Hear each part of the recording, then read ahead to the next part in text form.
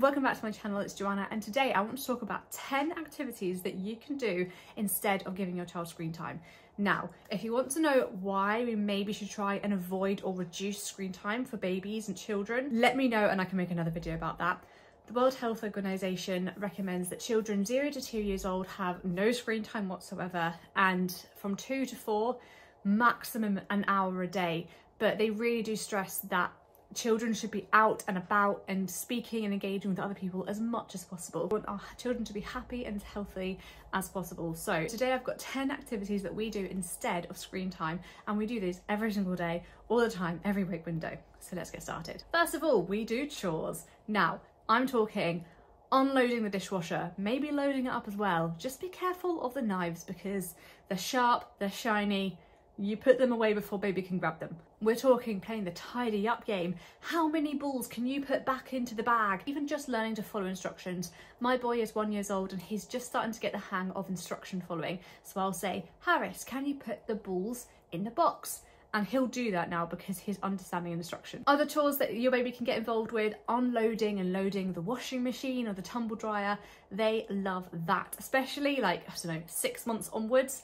They love grabbing and pulling. They love watching that washing machine spin, let me tell you. Access to washing the dishes with you. So if you've got like a toddler tower or a footstool, get them over the sink, get them splashing. And even if they're just been making a bit of a mess, it's like get that water all soapy, practice rubbing the dishes. They will love getting involved. Children just want to be involved. If you're wanting to do chores and put your child in front of the TV, get them involved they will love it. And if you can do it from an early age it's normal it doesn't feel like a punishment or a chore and it can be quite fun as well especially if you make it fun. A second activity cooking. Now we got Harris for his first birthday a toddler tower which has been an absolute godsend. Highly recommend that if you get one thing for your child your baby your toddler is a toddler tower. Breakfast time, snack time, lunchtime, dinner time. Best believe he is up there. He's got his own little baby knife set, like a little wooden chopping block, and he will be smushing some melon or some tofu or whatever we're cooking. Give your child some responsibility of like giving them a banana to eat give them the banana on a chopping board and let them try and cut it with an age appropriate tool. this is really good because it empowers them.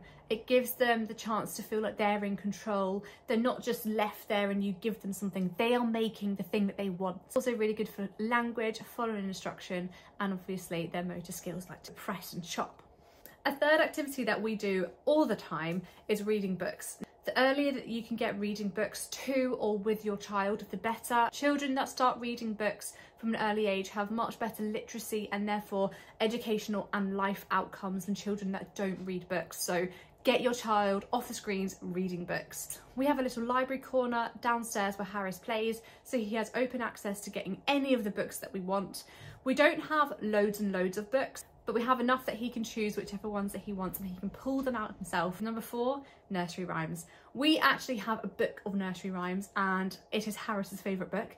He absolutely loves it. It's something that like when I think of nursery rhymes personally doesn't really float my boat but he loves it. And once you get into it and you start to know all those nursery rhymes, you'll be singing Hickory Dickory Dock, the mouse ran up that clock. Very fun, very exciting. The Muffin Man, yes, we know the Muffin Man. And there are loads of hand actions that you can do. You know, the Incy, the Incy Wincy Spider, and kids love that when your baby reaches an age where they can start clapping their hands, they can start doing the gestures, they can start dancing, they will be dancing to nursery rhymes. Another activity is number five, shape sorting. Now, you can have a pretty classical shape sorting toy. These are really, really good for their motor skills to be able to use logical reasoning and deduction to figure out like shapes and which ones go in which holes, fine motor skills to be able to contort it to get it in the hole or you can just make a shape sorting toy. This can literally just be a bit of cardboard that you cut a hole in and you just put toys through. You can make it really accessible to your child's age. So you can make it with a really big hole. You can put big items in, balls, but when they get older, you can put small items like little pipe cleaners through a really tight, small hole. It can be shapes, it can be colours, it can be sizes. There are loads of things that you can be sorting out and manipulating to put in different places. Really good for language, colour recognition, shape recognition. That's maths, that's language, that's literacy. There's so much going on that you probably don't even realise that shape sorting is actually really good for. Number six, independent play. This is something that you do need to encourage. My child, he's one years old, he has gone through periods of wanting to play independently. At the moment, not so much a fan of independent play because he can now walk. He wants to come with us wherever we go because he knows that he can walk. So you want to encourage independent play, even if it's just a few minutes at a time. A good place to do independent play, which can actually potentially help with their sleep as well, is in their bedroom, in their cot. So if your child, say, doesn't really like their cot, you can put them in their cot, get some of their favourite toys, and have a few minutes while you sit and like put their clothes away or put your clothes away, tidy up and leave them in their cot in a safe place and they can get used to their cot and do some independent play. Independent play is something that they'll they'll definitely get better at the older that they get. And when they start to have the developmental ability to role play and have imagination and all these sorts of things, independent play will really take off. If you've got a really young baby, you can just simply get like a play mat or play gym or just put some toys out on the floor and you can just encourage them to reach for toys which can encourage rolling, um, even just like a newborn, laying them down on a little mat and just encourage them to look up and move around. That will really help their neck muscles and their back muscles. Number seven, go outside. Children need loads of exercise and loads of stimulation. And I don't mean stimulation from screens because screens just do not cut it. Screens are visual and audio and children need more than that. They need to run around, they need to fall over, they need to get covered in mud, they need to eat the mud, they need to smell it. They need to go outside and have a sensory overload so that their brain can process everything. Even something like their eyesight. I mean, I say I say this as someone that wears spectacles, um, but being inside looking at screens is bad for eyes. Screen, it's a set distance away from you. Your eyes don't really have to work hard. But when you go outside, you have to practice your long and your short-sighted, much better for the development of their eyes and their brains engage with them, talk about what you can see. Even if they're just newborn and they can't really see much, talk about the world around them. The sky is blue, there are clouds today. Oh, it's rainy day today. There's so much that you can describe through language that will help ch a child of any age. As I said, the library. Now, I personally look at the library and reading as two separate activities because reading you do at home, right? But the library is a separate, it's a separate activity because you go there. Now, a library is an outing, it's free. All you need to do is get there, walk, take a bus, drive, whatever. But once you're there, it's free. There are often baby groups there as well. Often in the children's section, the librarians may leave things out like worksheets or colouring sheets, and there are often maybe some toys. So the library is this whole little like wake window out. Go to your local library. Nine, baby groups. Now, baby groups, there are loads that are paid for, there are loads that are free. It depends on how old your child is. You can go from when they're young to like a baby massage or sensory play.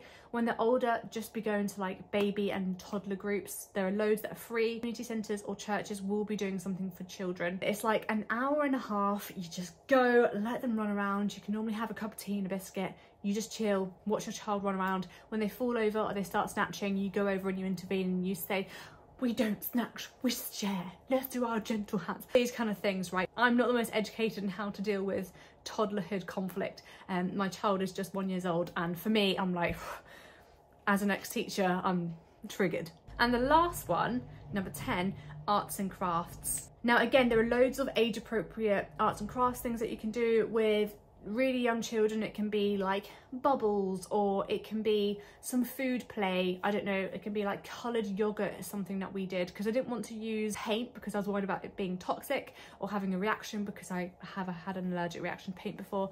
And um, so i just put food coloring in yogurt and just let him mix it about. But when they're older you can start scribbling. Harris has started to scribble with crayons. He does like to eat them as well but that's a whole nother topic. Using washing up liquid and putting a hand mixer on and just making loads loads of bubbles. That is good fun. Seasonal activities. In most baby groups, they'll do things that are themed or seasonal, like at the moment it's November, so making poppies. You can also do things like Play-Doh as well. So there are loads of different things that you can be getting on with. Just maybe have a look on Instagram or Pinterest. So those have been 10 activities that you can do with your child to try and reduce or minimize screen time. As I said, some of these activities are not independent, but things like independent play and reading, they definitely can be. Children need to be bored. They have to be sat there twiddling their thumbs to be able to think, I'm gonna go and do this and take initiative and realise that they are the masters of their own ship. You don't need to stimulate your child all the time. And yes, if you get your child involved and helping you as early as you can, it's not going to be this big chore. You're not dragging them away of screen time and using this as like a punishment or something that they don't want to do because they're interested in what you want to do. Children are so interested in people they want to learn, they want to model, they want to watch you. So if you can just get them involved, they will love it and you'll be building an amazing bond and really good skills. If you like those tips, please do let me know below. Give it a Love you. Like, comment and subscribe. like, comment and subscribe and I'll see you for the next one. Bye bye.